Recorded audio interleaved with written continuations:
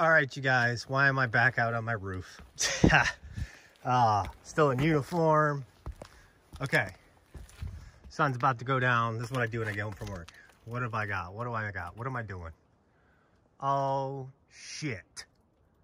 We got the parabolic grid.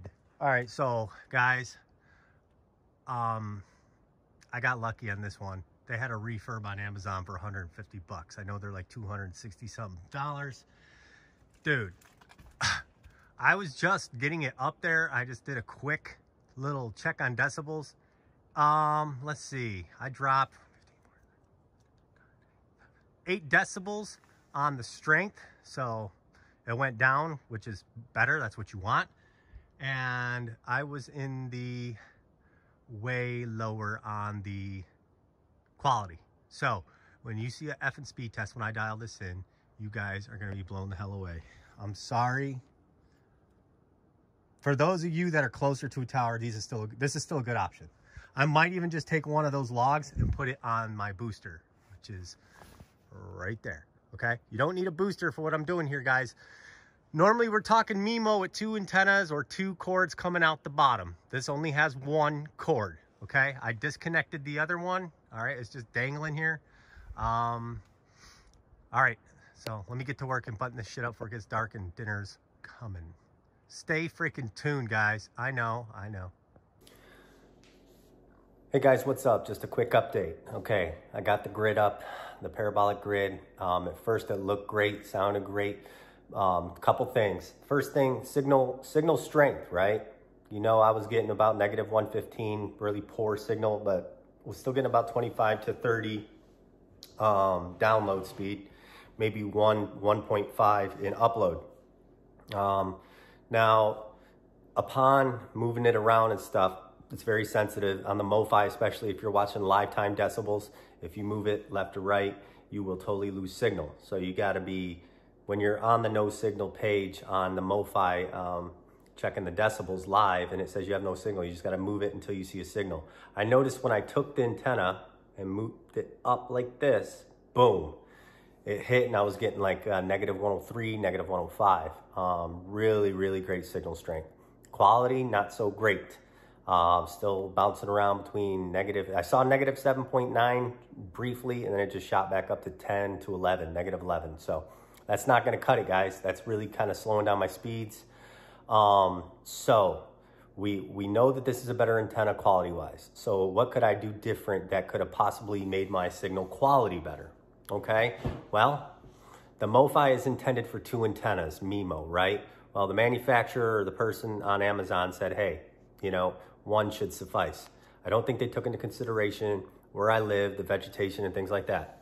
So what I did for a quick fix tonight is I decided since I have the other cable still running up to my roof, um, I hooked it back onto the MoFi and plugged in another log periodic, okay?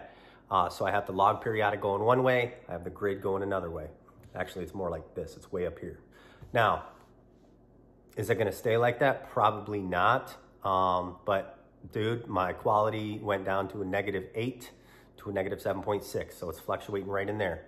Um, now I'm getting 30 to 33 down and I'm getting about three to four up. So that's a huge improvement.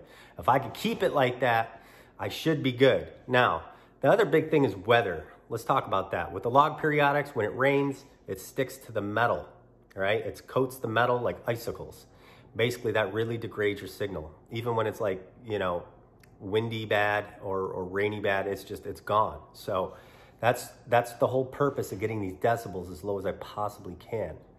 So what am I doing to combat that? A, the grid antenna should be weatherproof, so they say. Um, maybe that plastic coating on the feed horn will help it just slough off. Who knows? So what, what can I do to combat that? Well, I, uh,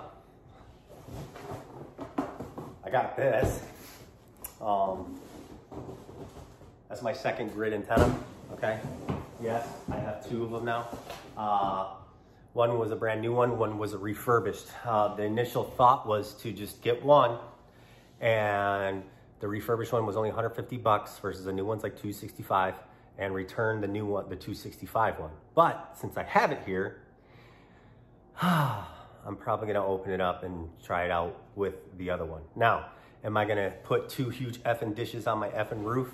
No, uh, it won't work like that. And I don't even think I have enough room. So what I'm gonna do is I'm just gonna take the feed horn, just the horn, not the entire dish, just the, just the part that receives. And I am going to put it up there put the bracket, slap it on the back of it and put it on the pole. Now let's just hope that that outperforms this log periodic that I got sitting up there because I have a feeling it will. I have a feeling it will. So here's the other thing, guys. So if the grid has way better signal strength, you need better signal quality. And to do that, you gotta have a second antenna, okay? You gotta go back to the MIMO. That's the only way if you're trying to get true and the best internet possible. Now we know that there's configurations with antennas like this and like this and like this and like this. There's all these different ways you can put them. But at the end of the day, if you got them up there, okay, you got two, one's gonna send, one's gonna kind of receive, and they're gonna kind of like bounce off each other, okay? Um, so like, for example, like my grid's here, my antenna is pointing this way.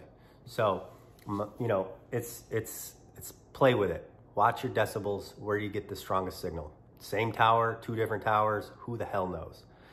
All I can tell you is that where I have it is excellent. So I need it there and I need to try this other feed horn and we're gonna have fun and hopefully this will be the last time I get on the motherfucking roof.